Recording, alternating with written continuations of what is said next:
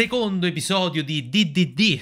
Devo dire, mm, secondo me dopo questo secondo episodio abbiamo avuto la conferma di quanto questo anime è uh, sopra le righe, cioè di quanto non gliene frega un cazzo di essere politically correct, come si dice, o family friendly. Uh, parlano di sesso tra studen- professori e studentesse minorenni, uh, di body shaming con il fratello della protagonista Ciccione dice no, uh, ti ricordi quando ci eravamo promessi di metterci insieme? Ma con un ciccione di merda, guarda, ma ti papa perché? Ma, ma perché dovrei fare? Quindi con un ciccione scordatelo. Quindi sì, eh, devo dire che queste cose le, le apprezzo perché c'è bisogno ogni tanto di anime di questo tipo, cioè che anime che non come dire, non, non, non, non, si allisciano l'opinione pubblica, mettiamola così. Cioè che dicono le cose come stanno, anche abbastanza realistici, nel senso forse un po' eccessivi nelle risposte su alcune cose, perché eh, parliamoci chiaro, cioè per come si comportano i personaggi, c'è la cosa che dice ad esempio il professore qui, quando gli fa, quando ti sarai diploma, diplomata uscirò con te tutte le volte che vorrai, se ti va bene come scopa amica. Cioè, capito, non è proprio la classica cosa che vedi che vedresti in un anime, ma non solo, anche nella realtà. Cioè, ma non so quante persone reputano una frase di questo tipo detta da un professore re- realistica. Cioè, comunque, non tutti i professori penso reagirebbero in questo modo, però, uh, però sì, dai, bello, bello. Bello, soprattutto io per ora vi continuo a dire che uh, Oran o Ontan, come la chiama la protagonista, è mia, mia, mia, mia figlia, mia, mia sorella, è proprio troppo troppo troppo carina, mi piace molto come si comporta, le cose che dice, è veramente eccentrica, cioè veramente strana, è proprio un, persona- cioè, un personaggio ma sia fittizio che se, vo- se volessimo anche parlare fosse reale questo personaggio, molto strano come si comporta, però troppo simpatica, dai, è veramente, veramente molto, molto fiera, molto, esprime fierezza un personaggio come, come Oran. Uh, cioè, quasi ogni volta che apre bocca al 50% dirà qualcosa di, uh, cari- di, dirà qualcosa di particolare ma che comunque te lo fa risultare divertente. Tipo qua quando dice stolto ingranaggio della società, capace solo di chiacchiere superficiali. Cioè, dai, è troppo, è troppo bella, è troppo bella, mi, mi, fa morire. Per il resto, comunque, se volessimo riassumere l'episodio, poi ecco, potremmo anche parlare due secondi di questo, eh? Ma proprio due secondi, giusto per uh, chiarire un attimo. Allora, cos'è questo? Cioè, nel senso, la forma è inequivocabile, però è un, veramente un massaggiatore del mento, perché so che esistono in Giappone queste cose, eh, però il fatto che...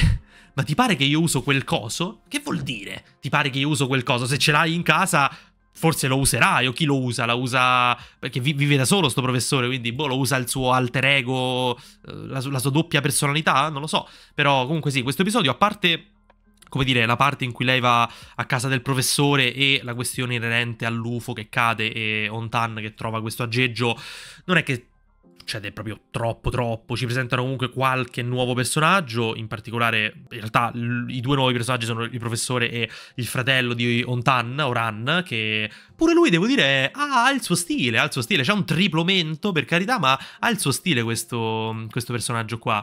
E mi ha fatto anche ridere che dopo che la protagonista Cadode ha detto eh, ma ti pare che io mi metto con un ciccione? Eh, si è messo a correre pure lui, è andato è andato a, fare jogging pure lui, quindi vuol dire che è comunque un po' interessato a Cadode. In realtà questa cosa l'avevo capita anche da quando la vede, ma guarda, cioè anche lui esprime proprio come la sorella, mi, mi, mi Uh, trasmette proprio fierezza. E si era capito che secondo me che era interessato alla sorella principalmente per questa cosa qua. Uh, per, appena lei entra si vede che lui arrossisce. Guardalo. Sull'attenti, arros, proprio arrossisce sulle guance, quindi sì, si era, si era un po' capita questa cosa. E poi vabbè, arriviamo al finale dell'episodio che mo... in cui usano questo nuovo macchinario per abbattere gli UFO. Quanto fiere. Ma quanto fiere con questi occhiali. Veramente bellissime. E in cui abbattono l'UFO e successivamente si vede questo tizio in mezzo alla folla che a quanto pare è l'idol morto, cioè l'idol che sarebbe dovuto essere morto, questo qua, che dice che sono morte parecchie persone, eh, sono morti in tanti, si riferisce forse alla navicella spaziale che magari conteneva degli ali tanti alieni, però No, cioè, per quello che abbiamo visto noi fino ad ora, ci sono due cose all'interno di questo anime. Gli alieni in versione bambini piccolini e quei, glo quei globi rossi che se toccati ti uccidono, che si sono visti nell'episodio 0, che vabbè, non, non avremmo dovuto vedere, ma comunque. Quindi, non so, cioè alla fine questo raggio ha colpito questa navicella di 50 metri che sembrava pure relativamente piccola, se vi devo dire la verità. E... Rivediamo un attimo questo colpo. Cioè, non mi sembrava una navicella così grande. Quindi in realtà non l'ha, neanche colpita in pieno, poi per carità forse con la caduta sarà esplosa e sono morti quelli all'interno. Quindi chissà, magari questa navicella conteneva tanti alieni, mm, magari una decina, che ne so, oppure molti di più, è particolare, particolare. E, e poi sì, questo tizio, dopo aver detto questa, questa roba di salve a tutti, sentiamo bene. Esattamente. Se nel caso voi non, non aveste capito, ve lo rimetto alzando il volume. Esattamente. Quindi scopriremo nel prossimo episodio chi è lui, cosa uh, vuole fare. Probabilmente è un, cioè un uomo, un, un, essere umano controllato da un alieno. Perché se vi ricordate nell'episodio 0, spoiler, abbiamo scoperto che eh, gli alieni possono entrare nel corpo degli esseri umani e controllarli dall'interno. Però sì, dovrebbe essere l'idol che è stato citato, eccolo qui che è stato citato in questa cosa qua. Uh, si capisce, sì, vabbè, a parte dalla la faccia è un po', un po', diversa, ma si capisce dai due nei che fo voi forse non vedete adesso la, dalla live, ma si vede da qua che, che, è lui. Che è questo idol qua che appunto ha sti due nei. Qua, qua molto, più, molto più evidenti in questa in questo momento. Mannaggia l'episodio 0 quanto è fastidioso. È abbastanza. Posso dire abbastanza. Poi non so, voi cosa avete da dire su questo episodio? Vediamo un po'. Sembra una bestemmia al contrario. Eh, potrebbe essere, potrebbe essere. È un massaggiatore a rolli per il viso. Sì, lo so che esistono cose di questo tipo, però cioè, essendo che c'ha la forma proprio da, da, cazzo, lo so, era particolare, era particolare. In teoria il prof potrebbe mettersi con un'ex studentessa? Sì. sì. No, infatti non ci sarebbero... Non credo, cioè, non credo ci sarebbe nessun problema, però è il modo in cui lo dice che non lo so, cioè nel senso non mi sembra molto da professore, cioè eh, mi raccomando, do, do, dopo che avrai finito il liceo ne riparliamo come scopamici, eh, mi raccomando, quindi sì, forse capito, il sensei è un po' too much, cioè non mi sembra molto realistico il sensei, però comunque fa ridere, cioè preferisco anime di questo tipo un po' sopra le righe, un po' più eh, esagerati su queste cose qua, anche su quello che dicono i personaggi, che molto spesso se ne escono con eh, espressioni abbastanza colorite, di anche insulti o cose di questo tipo, piuttosto che i soliti anime in cui tutti sono carini, dicono cose perfette, preferisco ogni tanto anche cose di questo tipo. Sì, le conversazioni sono pic, assolutamente le conversazioni tra i personaggi, soprattutto quando c'è di mezzo Ontan, sono picco, picco totale, picco totale. Sono, ecco, sono d'accordo con Kenshiro 777, assolutamente non guardate l'episodio 0, dopo questo episodio non ne parleremo più, ma ripeto, alla fine le cose che ci siamo spoilerati nell'episodio 0 non sono neanche tantissime per fortuna, ma purtroppo quelle due o tre cose importanti ce le siamo spoilerate. Uh, secondo me ci sta di peggio IRL, vabbè grazie al cazzo ci sta sempre di peggio, ma... Um di solito no, poi soprattutto in Giappone non è che non credo che i professori siano così in Giappone. Se continua così potrebbe diventare il migliore della stagione. Guarda, per ora posso dirti che questi primi due episodi secondo me sono abbastanza, cioè sono ottimi, non ci vedo niente di sbagliato, non, non, mi pare che stiano andando lenti, anzi è un ritmo che mi piace. Se anche il prossimo episodio fosse così non mi creerebbe problemi, uh, cioè che a livello che magari non succede troppo nel singolo episodio eh, rispetto a quello che insomma già sapevamo. E, però sì, mi sta piacendo come migliore della stagione non ti so dire, non ti so dire. Adesso dopo... In realtà io aspetterei il prossimo episodio, ma adesso dopo due episodi e mezzo, tre episodi, quello che è, eh, nella tier list lo metterei... In realtà mi sa che comunque già l'ho rankato, quindi non è che cambierebbe troppo. Andiamo a vedere. Non l'abbiamo messo... Ah no, non l'abbiamo messo, preso in A. Sì, guarda, secondo me può tranquillamente, anche a breve, tra pochi episodi, arrivare ad S. Ma per ora... Per ora... Non lo so, non lo so se arriverà qui, capito? Uh, questo è un po' particolare, però sì, secondo me può tranquillamente superare Ranger, assolutamente, e My Academia in realtà, pure My Academia secondo me può salire. Cioè se voglio parlare di anime che hanno il potenziale per salire, sicuramente questi due, sicuramente. Uh, Ranger ultimamente no, Jellyfish vabbè lo sappiamo che è soggettivo, c'è chi vorrebbe Jellyfish qua sopra, ma io per ora non lo metto qua sopra, quindi... Sì, secondo me può tranquillamente salire, però non ti saprei dire migliore della stagione. Nah. Tra i migliori forse sì, ma migliore no. Non, non mi dà questa impressione, però chissà, chissà. Per quanto riguarda il voto, attenzione, attenzione, udite, udite. Utilizziamo finalmente questo sistema per dare il voto. Perché per chi non lo sapesse, esiste il sito di uh, Reanime uh, che potete consultare, insomma, dove, dove volete. E semplicemente cliccando Demon Eccolo qua. Dead Demons. De, de, de, de. Oh, è stato già creato l'episodio 2, perfetto. Uh, titolo dell'episodio, in realtà non ha un titolo, quindi lo chiamiamo episodio 2. E adesso vediamo per quanto riguarda i voti. Quindi prima facciamo la media. Vediamolo da qui che voto ho dato allo scorso episodio. Ho dato 8 più allo scorso episodio, cioè sì, 8.3, quindi 8 più allo scorso episodio. E 8 più a questo... Mm, 8. 8 meno. Meno dello scorso, lo scorso era più bello. Vabbè, diamo, diamo 8 per adesso, diamo 8. Vediamo pure il vostro voto qual è, così mi allineo un attimo. Voi avete dato, abbiamo detto, 8,52, quindi lo mettiamo qui.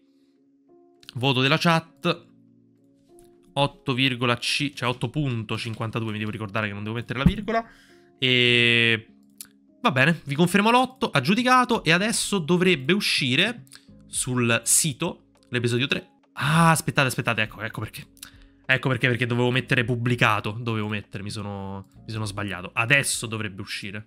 Eccolo qua, eccolo qua. E a questo punto cambiamo pure il titolo degli altri episodi perché mi dà fastidio che non siano messi bene, quindi episodio 0 lo chiamiamo episodio 0 e episodio 1 lo chiamiamo episodio 1, semplicemente perché su, su Crunchyroll lo sono chiamati così.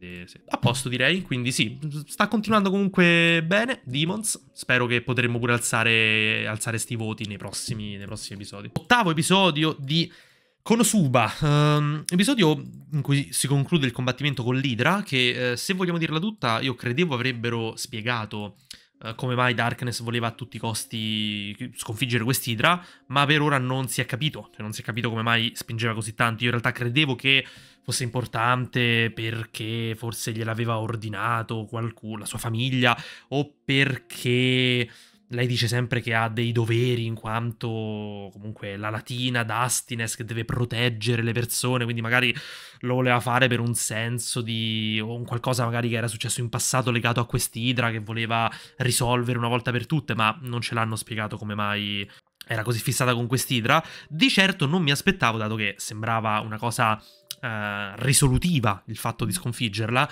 non mi aspettavo che come risultato del, della dipartita dell'Idra uh, avremmo avuto Darkness che se ne va dal party, che se ne torna per qualche motivo a casa sua. E anche qua mi viene difficile pensare cosa può essere successo, perché già nella seconda stagione avevamo avuto l'arco, gli episodi dedicati a Darkness che doveva eh, sposarsi con un principe, ma Kazuma l'ha salvata e l'ha riportata nel party. Adesso sta succedendo la, cosa, la stessa cosa? Non credo proprio, cioè non credo che sarà un altro eh, matrimonio, quindi, boh, mm, non lo so, mm, sarà magari qualcosa inerente a quel vecchio che avevamo visto negli scorsi episodi che sembrava essere molto interessato a Darkness, quello dove loro sono andati a casa sua per eh, risolvere il problema di quel ladro, se vi ricordate, quello lì che aveva lo specchio, la stanza specchio per vedere dentro i bagni delle, delle domestiche. Quindi sì, sarà qualcosa legato a lui, dato che hanno comunque continuato a farcelo vedere. Um, però sì, a, a parte un possibile nuovo matrimonio che eh, la proveranno ad obbligare a fare, non mi viene in mente altro che potrebbe succedere, sinceramente. No, però è vero, va, è vero, è vero, è vero. Va, Vanir diceva, nello scorso episodio ha detto sventura sull'intera famiglia. Quindi, boh, forse se non è un matrimonio sarà successo qualcosa di brutto nella sua famiglia che l'ha costretta a tornare indietro e abbandonare il party. Probabilmente questo è quello che... Ma lo scopriremo nel prossimo episodio, quello... questo è poco ma sicuro. Uh, comunque, per quanto riguarda lo scontro con l'Itra, ma vi devo dire, caruccio, cioè ci stava. Uh, in generale è, come dire, giusta la, la critica eh, secondo cui ogni volta si risolve tutto con la magia dell'esplosione di Megumin, eh, ma questa sarebbe secondo me una critica giusta se fosse un anime mm, magari un po' più serio, cioè alla fine ma in realtà anche se fosse un anime serio non è una cosa che la vedrei come una cosa così sbagliata, nel senso la cosa più forte che hanno è la magia di Megumin, ci sta che usano questa per uh, vincere contro nemici di questa portata. Poi per carità, in futuro potrebbero pure capitare situazioni in cui non possono usare la magia di Megumin e in passato in realtà già è capitato tipo quando sono andati in spazi ristretti o in catacombe, luoghi sottoterra dove la magia non può essere usata. Quindi sinceramente non ci vedo niente di male che ogni volta utilizzino la magia di Megumin, cioè, cioè se è così forte ci sta che poi in realtà alla fine non è che usano... Allora, secondo me la cosa brutta sarebbe se usassero sempre e solo la magia di Megumin per vincere in un nanosecondo gli scontri. Ma alla fine comunque contro l'Idra si, cioè, si sono abbastanza ingegnati nel cercare di catturarla, attirarla e spingerla sulla terraferma. Poi eh, Kazuma con il Drain Touch che abbiamo scoperto essere OP a schifo perché io pensavo che il Drain Touch era un'abilità che ti prosciugava l'energia vitale del, dell'avversario, ma questa cosa era tipo variava anche in base alla stazza dell'avversario perché in questo caso con un'idra di eh, 20 metri, mi aspettavo che il drain touch non gli faceva un cazzo, perché dipendeva anche dalla capacità del, dell'utilizzatore di Kazuma. Invece, da quello che sembra, sembra essere un'abilità che ti prosciuga l'energia vitale in percentuale, a prescindere da quanto sei grosso, da chi sei. Quindi è come, non lo so, se prosciugasse un, mi immagino, un 1% della tua energia vitale ogni secondo che rimane, forse pure di più, ogni secondo che rimane in contatto, eh, a prescindere se sei un mostro di 100 metri enorme o un, uno sgorbio di, di, me, di, mezzo metro. Quindi molto molto forte questa abilità che ha indebolito l'Idra e ha permesso a, a tutti di, insomma, ucciderla.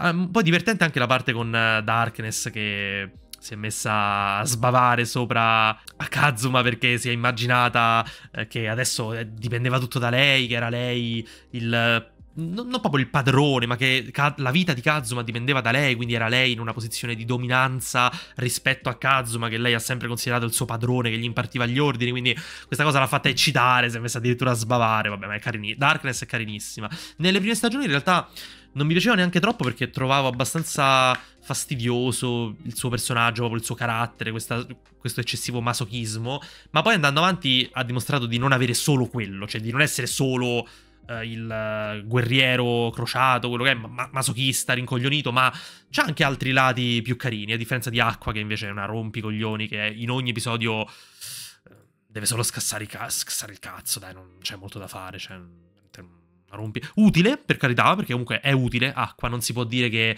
non abbia dei poteri forti, però scassa troppo il cazzo. Rompicoglioni. E poi boh, per, il, ah, per il resto in realtà si è creata anche questa uh, quest line secondaria in cui devono scoprire chi, il, il, chi sono i ladri che si trovano qui ad Axis, i ladri da capelli argentati, e che verranno dati 200 milioni a chi troverà questi ladri. Ci sta anche, vabbè, anche qua Megumin che sta, si sta eccitando perché lei adora i, adorava quei ladri, quella ladra Chris da capelli argentati e...